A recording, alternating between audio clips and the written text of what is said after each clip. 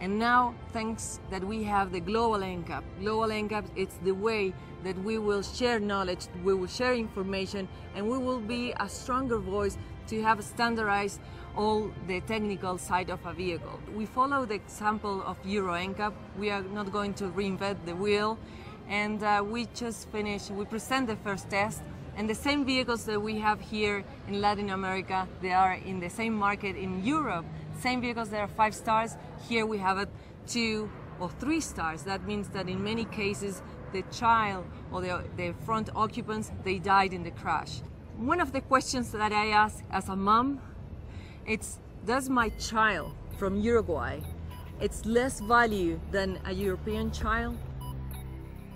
Just announcing those results have made the car manufacturers in Brazil and Argentina start changing their attitude. They're now producing cars almost to the level of their European models. Um, not yet five stars, but at least they're incorporating airbags, ABS systems, seatbelts for all the passengers. These are basic things that you find in any European model. But the same model built in Brazil or in Argentina didn't only had two seatbelts in the front.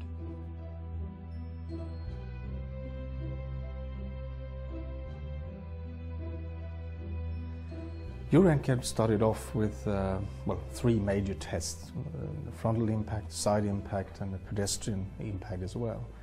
And then it has developed gradually with a pole impact, which has been very important and has been demonstrated that this also makes a huge difference to, to vehicle safety.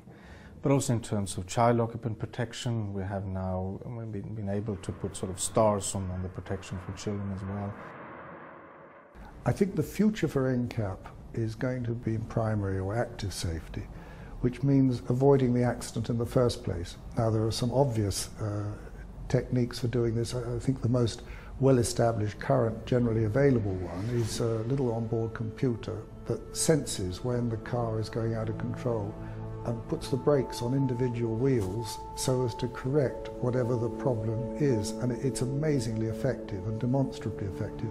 Just the way that they changed the way in which cars are built, they will change the technology for the avoidance of accidents.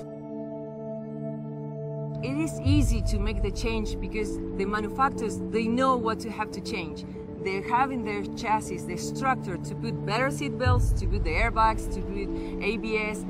They can do it.